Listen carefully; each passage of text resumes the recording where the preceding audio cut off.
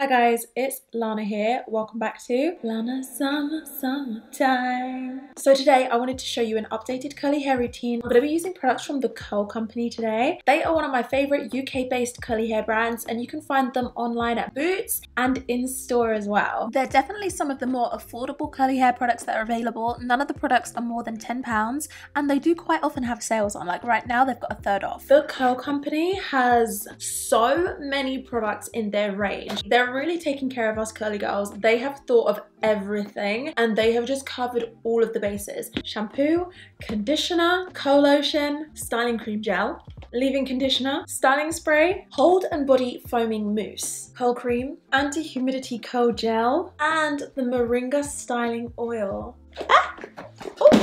Ah! All of their products are vegan, cruelty-free, they're made in England. It will specifically tell you if it's designed for waves, curls and coils like this one, or whether it's for curls and coils like this one, or whether it's for waves and curls like this one. They all have natural extracts, they're color kind, and a lot of them are silicone-free and sulfate-free as well. Everything in the range is formulated using their professional Nourishing Curlplex formula, which is a special blend of moringa oil and meadow foam seed oil, which is formulated to nourish and enhance your curls. So my hair has been looking a bit of a mess for the past few days. I've had to stick it into a sleek bun, which by the way, I'm kind of loving. I haven't worn my hair in a high bun for a long time and I kind of forgot what my face looks like when I get that bun facelift. But it's time to wash my hair. It's time to let the curls back down. It's time to get those curls juicy, springing, nourished, and moisturized again. So if you're ready and I'm ready, let's go.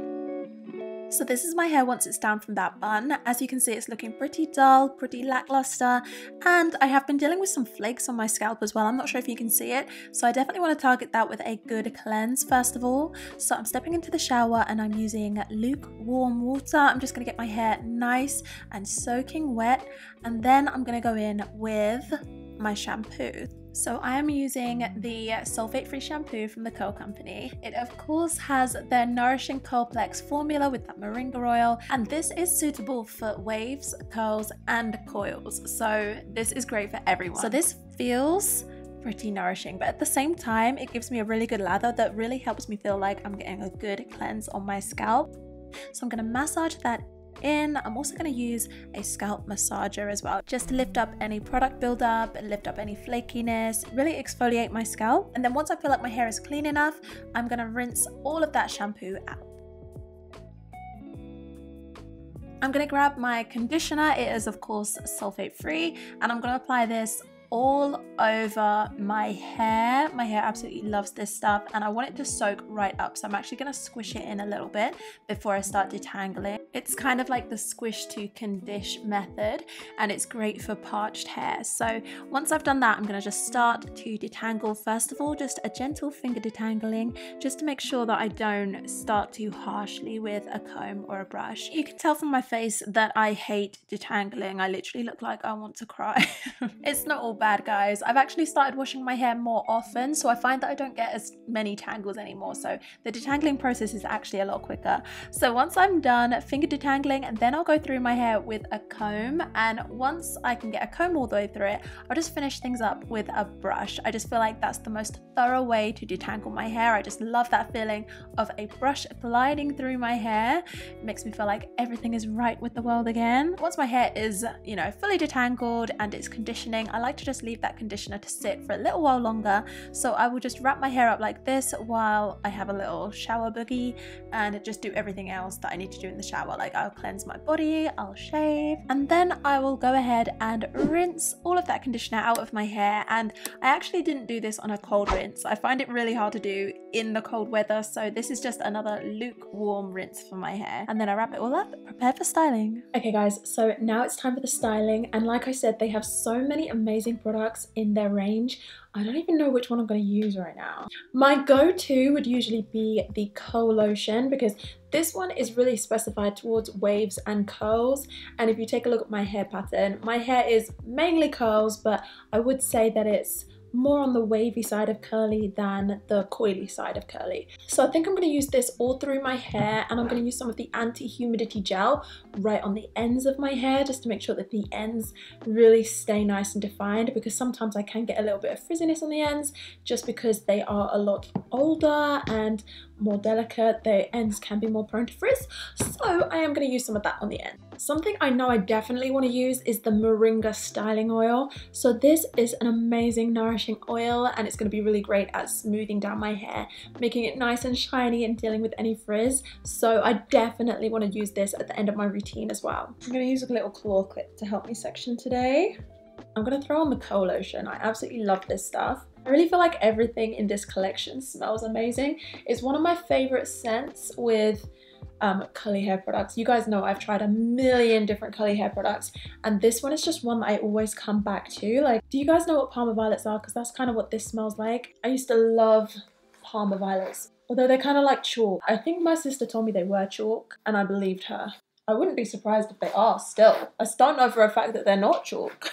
You guys, I have actually done a little bit of heat styling recently, so I am going to apply a little bit of leave-in conditioner to the ends of my hair as well because I can feel that those are a little bit dry and I think maybe it's to do with the heat styling that I've been doing recently. Hopefully it's not damaged, but this should really help me out. This is the curl defining leave-in conditioner by the way. That's the lotion make sure that's evenly applied. And then when I have kind of like these moisturizing light products on my hair, that's when I really want to go in and do some like co-defining technique with my brush. I think I'm just going to use my Tangle Tamer, Tangle Tame, Tangle Teezer. Oh my god, how did I forget the name? I think I'm just going to use my Tangle Teezer for this today. I'm so sorry, Tangle Teezer. I literally forgot your name for a second. Love you. I'd like to take kind of like a vertical section and brush it out like this, if that makes sense. Because then when I like shake it out and everything, it's kind of not all clumped together vertically. It's kind of like it clumps together in its own sections, all spaced apart.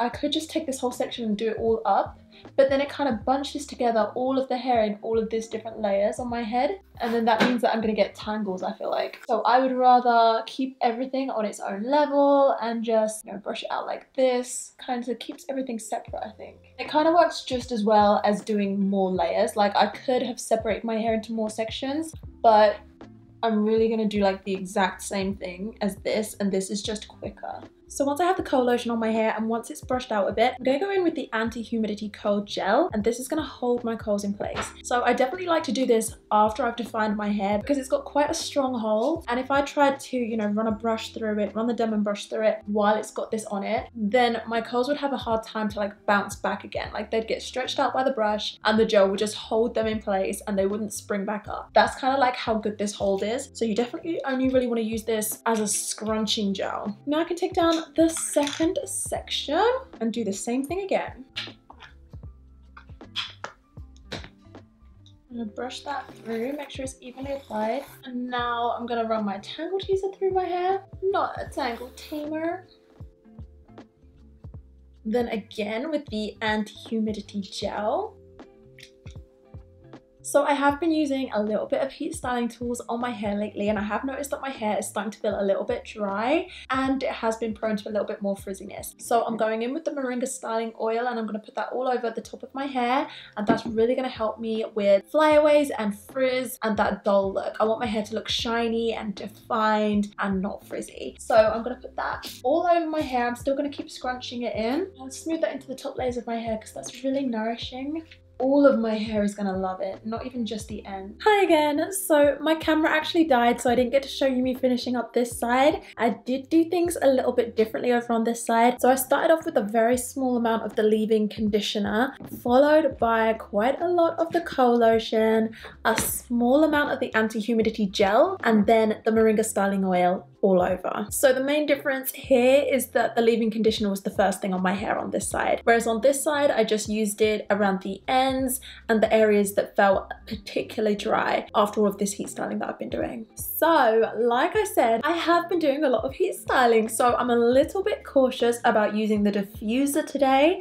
So I think I'm actually just gonna try and air dry for as long as I can. I'm so not used to air drying though. I've been totally spoiled with my diffuser. I use it all the time now, but I'm just gonna help things along a little bit just by scrunching out some of the excess water onto a microfiber towel I'm just taking extra special care not to cause any frizz when I do this. Just scrunching in a very controlled manner. It's looking good at this point. I'm hoping that we're to have some really nice definition. At this point, my hair is feeling nice and moisturized. I definitely feel like I'm to fix those issues of dryness that I had. So I'm just going to go away and dry this and I'll come back and show you how it looks. Okay guys, I'm back my hair is mostly dry and there's just a few things that I want to do. I do just want to pick my hair a little bit because I love to have that little bit of extra volume. So I like to kind of just tip my head upside down, have a shuffle around of the roots with this hair pick. And I also just want to go and separate some of the clumped up curls on this side as well. And just for the last step, I'm going to apply some more of the Moringa styling oil. I just absolutely love this stuff and I definitely feel like my hair could do with the added shine. So I'm just going to sweep this all through my hair and that's just going to help lock in moisture until my next wash, until I next moisturize my hair. It's going to help my hair to look shiny. It's going to help that frizz to stay away. And you remember how I said that the Curl Company has a huge range? Well, they also have this product. It's called their Shape and Define Styling Cream Gel. This is designed to smooth and hydrate curls whilst adding style hold. It's for curls and coils. It's got really strong hold. And I actually like to use this for my edges sometimes. Also kind of use it for my eyebrows sometimes. Just gonna really lightly just smooth down my edges. So for me, this is a great routine to do weekly. So kind of week in, week out, just a normal routine, just to get my curls nourished and healthy and looking great for the week ahead.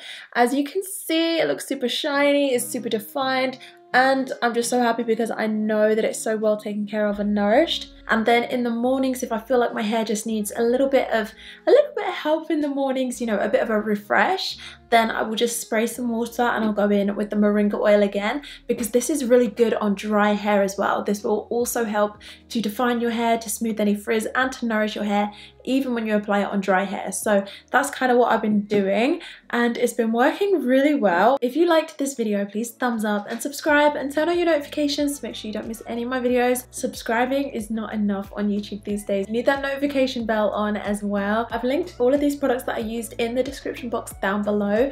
Remember you can get them on Boots online and Boots in store as well. So yeah, have an amazing week and I will see you in the next video. Bye!